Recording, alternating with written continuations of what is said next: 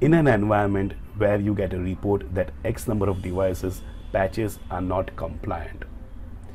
To understand what could be a reason, troubleshooting, diagnosing if patch scanning is working properly or not, that is what we are going to see in this particular video.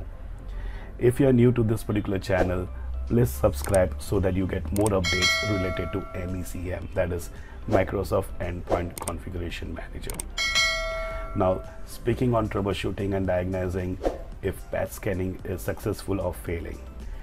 Three things are very important. Number one, assignment of patches. Number two, scanning of devices. And number three, deploying of patches. Now, whenever the new patches are released by Microsoft, they need to be assigned because only once it is assigned, then it will be deployed.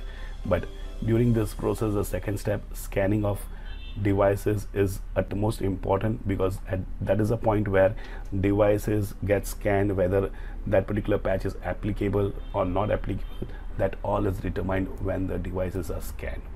Now over here one log that is very important especially for scanning of devices is WUA handler. This log gives a lot of information about the scanning now in this particular log we may see different type of messages related to scanning if scan is successful or not. I have just jotted few of the error messages which I have seen in my environment. Like this fail to run begin search on WUA agent error 0x80070422 or 80248007 scan failed with error group policy error. And like there are multiple errors that I have seen.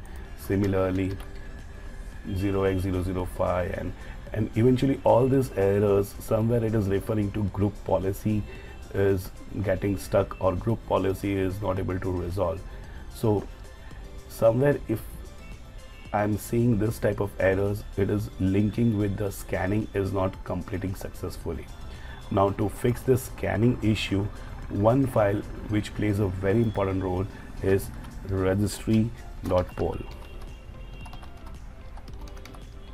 This is a particular file which really helps to get the registry information.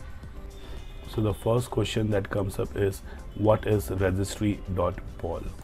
So over here, this is a Microsoft document where it has given a brief insights about registry.pol where it is mentioned the group policy object editor stores registry based configuration setting in two registry.pol files. It is located in windows system 32 group policy. Then there is a machine folder as well as user folder. One file contains computer setting and the other file contains user setting. Basic basically the the group policy object editor saves the setting to this files on exit and imports the setting on startup. So at this time of startup, this particular file registry.pol has some settings which it calls and during that time it scans.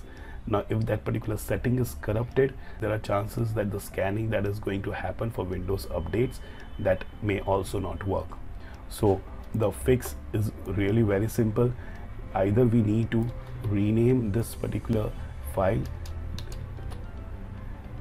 registry.pol or we need to delete it. Now let us understand what is actually included in registry.pol. So for that I am opening my test machine. So now I am on my test machine. I have downloaded this particular tool registry.pol reader uh, is a software developed by SDM software. Being on a test machine I can take a risk of getting any third-party tools to review what it is. I will not be doing the same in my prod environment. So this is the path which I was referring earlier C colon Windows system 32 group policy machine. Either machine or sometimes registry.pol is present in C colon Windows system 32 user folder. So let's see what is present in registry.pol file. So I am opening this I can see a few of the registry key values are there. So as per the definition, it was saying that this particular settings are imported at the time of start and this, this particular settings are taken over at the time of scanning. So the other way which I normally check is I can go to that particular path C colon Windows system 32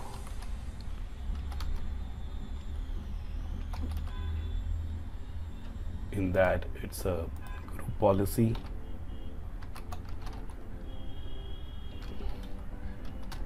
In that it's machine. And over here I can open it through notepad. The characters would not be clear but I will still get a understanding of what it is referring to. It is referring to the same thing but in the prod environment I can just open this. I can see okay these are the few of the registry binaries that it is referring to to be scanned during the registry during the Windows update scan cycle. So I get an idea of what is happening. So now what I need to do is is I need to delete or rename this particular file. And once I do a rename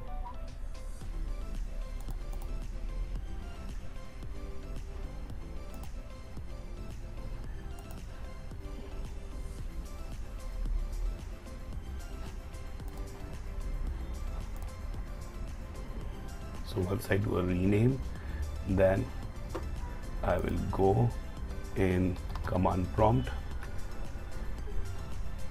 I'll be running gp update slash force which will update the computer policy as well as the user policy. And also I can run the software update scan cycle from the action item basically if you want to see how the file looks like we can open through notepad. We can see the content. We will get a brief idea. Once we renamed it once it is renamed or deleted run gp updates as force or software update eval cycle and size cycle through config manager. Action items. It will create a new file and eventually like in the WUA handler log we will see a successful entry. And this is where I am seeing a lot of scanning get successful. So for this I have created automated steps on multiple devices where it creates a new file and the scanning issue get resolved on X number of devices. So this is my learning which I am sharing with you guys if you find this particular video interesting and like this video do like to comment because your comments are helping me to come up with more valuable sessions. Do subscribe this channel so that you get more periodical updates on MECM with this this is Yagnesh Malaviya signing out until I meet you again in the next video. Thank you very much